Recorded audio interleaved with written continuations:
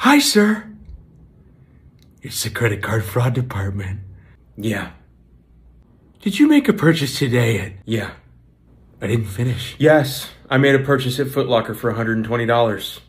Did you then make a purchase Four for... minutes later at Haagen Dazs for $8? Yes, I did. Did you regret it? Yes. No. Yeah. Why are you calling?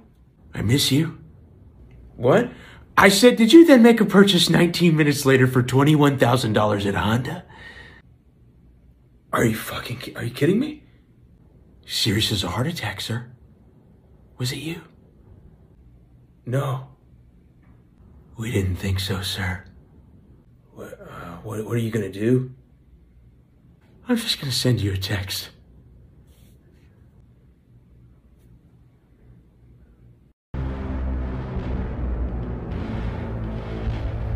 Is that you? Have a great rest of your day, sir.